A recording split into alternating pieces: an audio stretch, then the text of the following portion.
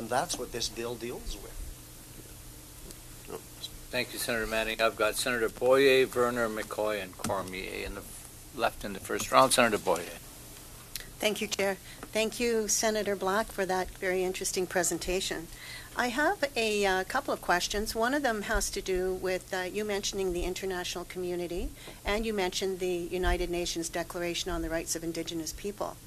I am wondering about the 20% who have not signed on and how the uh, principles of free, prior, and informed consent that are found within the Declaration, as you know, that uh, how they have been implemented on the 20% or with the 20% that have not signed on. I don't know. Thank you, Senator. I cannot speak specifically on that, but I can assume the following.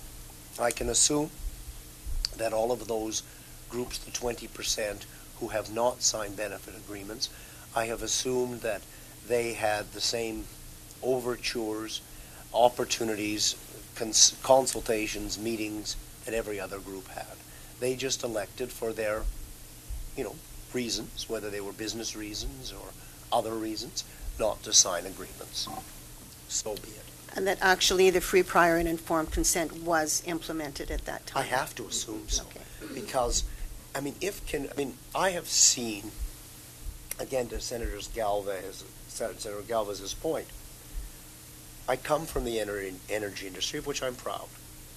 I have made a major contribution, I believe, in terms of energy policy in this country over decades, of which I am proud.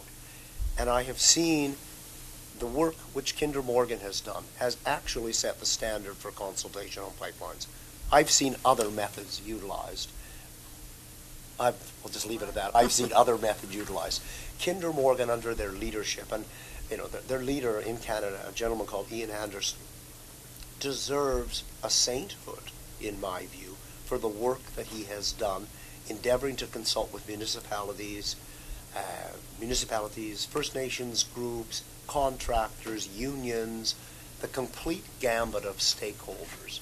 Of course, you're not going to get 100% of people agreeing with it.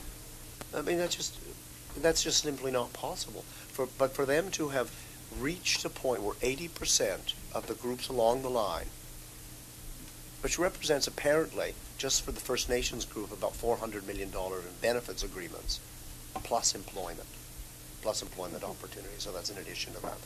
And that doesn't count municipalities, like the municipality of Kamloops, you know, a new sports center. I say that, I don't know that specifically, but that kind of asset is, has been developed along the route.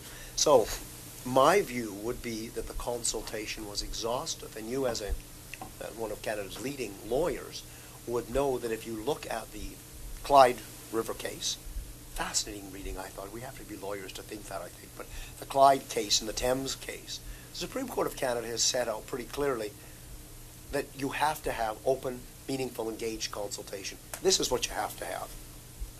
My guess is Kinder Morgan is going to be able to fit within that quite comfortably. That will be my guess. The court, the court has also said that it's determinant upon the depth of the effect on the indigenous rights protected in Section 35 on how deep that consultation actually goes. And I agree with that. Thank you, Senator No, I, Black. I completely, I completely agree with that analysis. Senator Verner. Oui, merci. euh,